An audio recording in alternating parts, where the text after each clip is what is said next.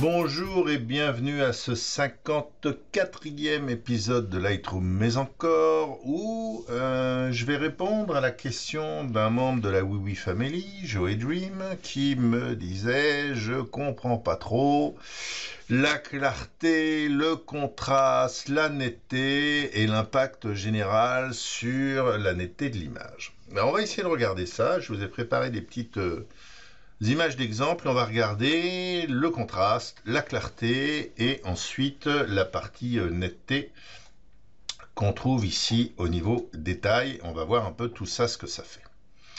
La première image euh, sur laquelle on va travailler, je vais cacher ça, c'est un carré gris foncé avec dedans un carré gris clair. Si j'augmente le contraste de cette image, le gris foncé va devenir plus foncé, le gris clair va devenir plus clair. Et en fait, juste de faire ça, ça va vous donner l'impression que le carré ici ressort mieux. Donc on va tester, hein, et on va augmenter le contraste. Vous voyez que ça, ça devient plus clair, et ça, c'est devenu plus foncé. On peut euh, le faire plus en jouant sur les blancs et les noirs, on creuse encore plus. Et on peut aller euh, beaucoup plus loin quand on joue sur les blancs et les noirs. On joue un peu euh, comme le contraste. Donc en fait là, ça vous donne une impression de netteté simplement, donc je remets tout à, zéro, simplement parce qu'on a fait plus ressortir les tons clairs par rapport aux tons foncés. Donc en faisant ça déjà, vous avez l'impression que votre image est plus nette, puisqu'on fait plus la différence entre les tons clairs et les tons foncés.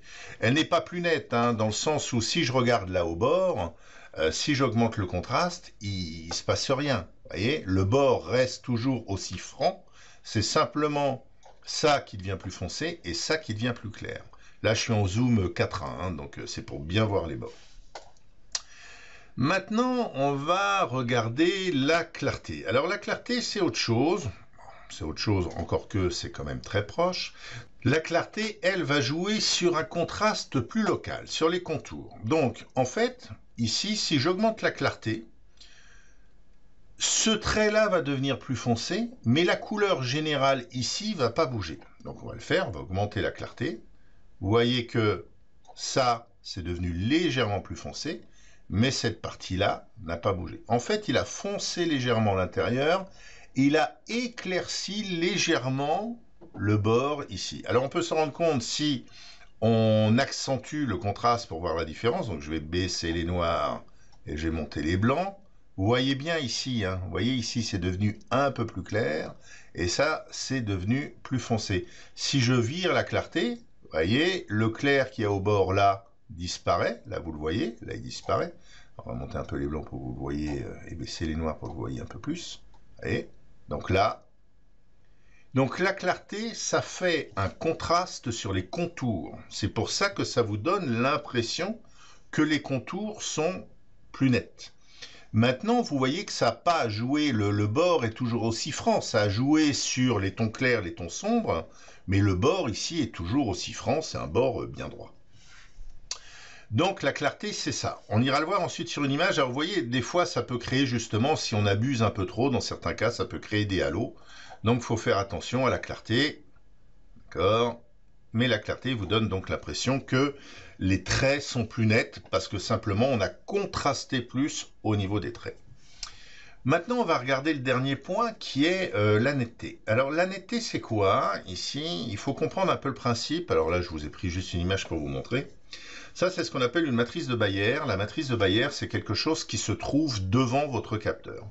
En fait, votre capteur, c'est pas du tout des points. Ensuite, Lightroom vous montre des points, des pixels, mais ces points, ils sont reconstitués. Ils n'existent pas en tant que tels. Et en fait, cette reconstitution est faite souvent par la moyenne de points qui sont les uns à côté des autres. Donc, en faisant une moyenne, forcément, on introduit un léger flou.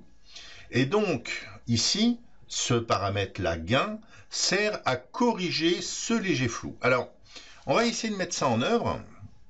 On va prendre cette image-là et on va zoomer en 4.1 dedans, d'accord? Et là, vous voyez, on a des traits, ici, et là, vous voyez qu'il y a un flou, euh, je dirais, au bord, puisque euh, on a un dégradé, on passe pas directement du noir au bleu, on a un léger flou. Si on le regarde en 1.1, alors là, vous le verrez peut-être pas sur YouTube, mais l'image est pas, ne semble pas totalement super net. D'accord? Donc on va se remettre en K1, en 4.1. Et maintenant, si je joue ici sur la netteté, vous voyez, ça, ça devient plus flou. Et là, ça devient plus net.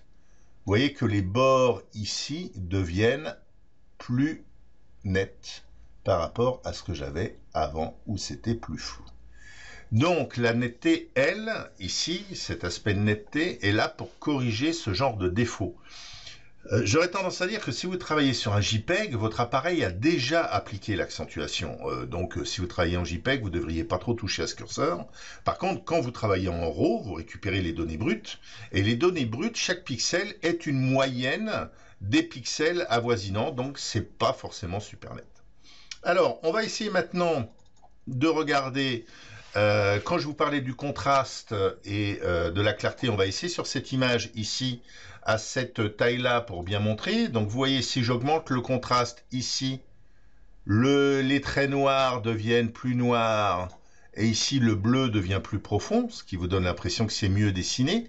Mais si vous regardez bien en détail ici, vous voyez que les bords sont toujours aussi flous. Donc le contraste ne joue pas sur l'accentuation, c'est une impression de netteté, mais ça ne joue pas sur l'accentuation.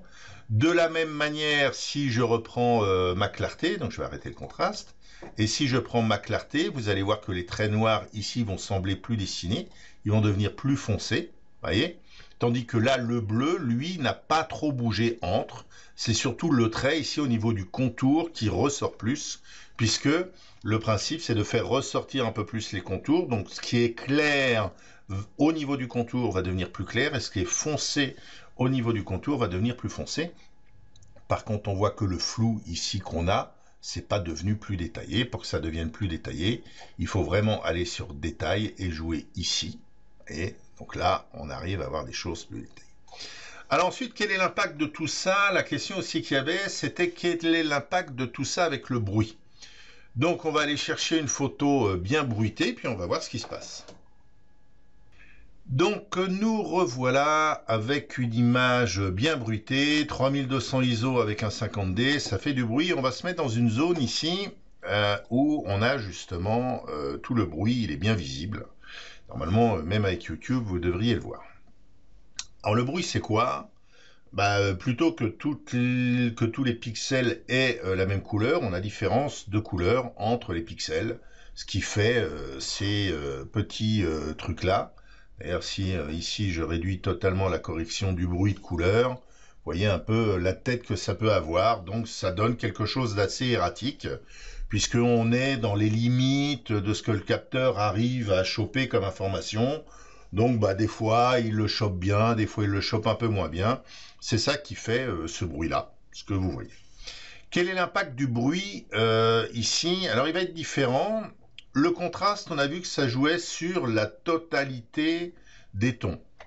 Ça jouait pas sur les bords. Donc si j'augmente le contraste ici, je vais contraster ce bruit forcément. Ce qui est plus clair va devenir plus clair.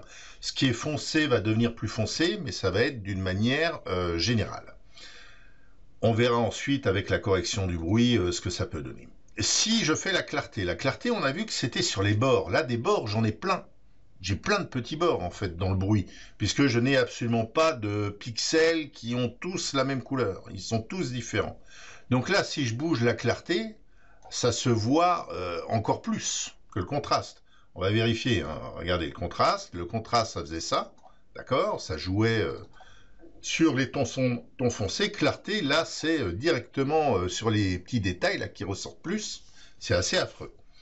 Et ensuite, si on joue sur euh, le détail, le détail c'est pareil. Le détail, ça joue au niveau des bords. Donc si ici on travaille sur le détail, vous voyez qu'on rend ce bruit en fait plus net. D'accord? Et il ressort quand même pas mal. Alors, Qu'est-ce qu'il faut faire dans ces cas-là quand on a du bruit comme ça? J'aurais tendance à dire que le problème de la correction du bruit, je vais revenir sur le visage qui est là. On va revenir alors à, des valeurs euh, standards. La couleur 25 euh, c'est bien et puis on va mettre euh, à peu près 17 pour le bruit.